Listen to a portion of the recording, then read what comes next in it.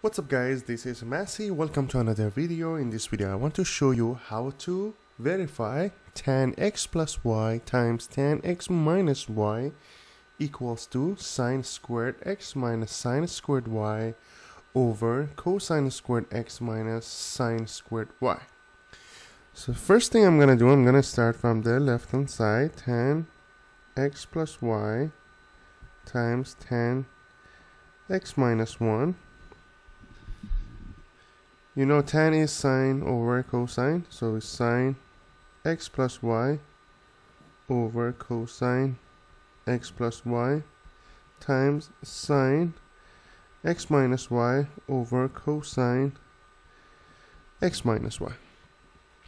So then you expand it, you have sine x cosine y plus sine y cosine x over cosine x cosine y minus sine x sine y times sine x cosine y minus sine y cosine x over cosine x cosine y plus sine x sine y. then what we can do we can use the difference of squares and have sine x cosine y squared minus sine y cosine x to the power of 2 and here we have cosine x cosine y to the power of 2 minus sine x sine y to the power of 2 Then what I'm gonna do, I'm gonna change this cosine y to sine and cosine x to sine x. Same thing here for cosine y and same thing here for sine x.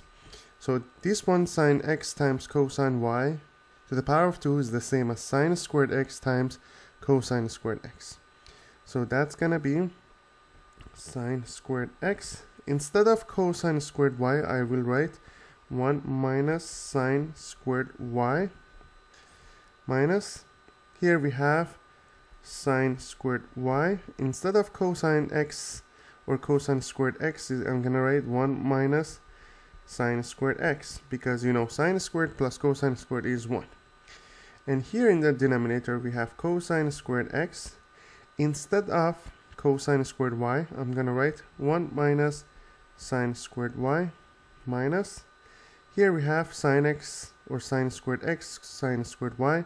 Instead of sine squared x I'm gonna write 1 minus cosine squared. So 1 minus cosine squared x times sine squared y.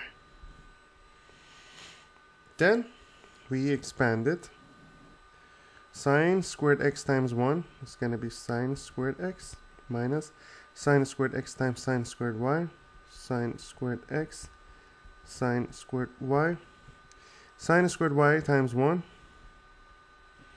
plus negative sine squared y times negative sine squared x is going to be sine squared x sine squared y.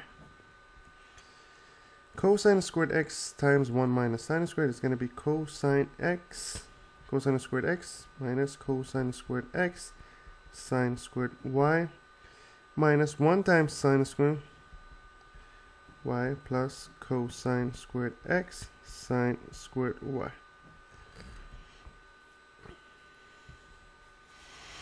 At the end, as you see here, we have negative sine squared x sine squared y, and here we have sine squared x sine squared y. These two cancel out, and we're going to end up having sine squared x minus sine squared y.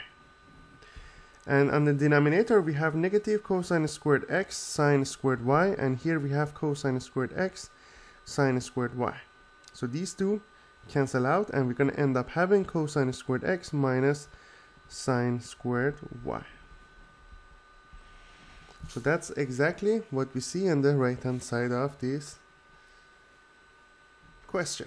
I hope you enjoyed this video. Please leave me a comment if you have any question and I get back to you as soon as possible.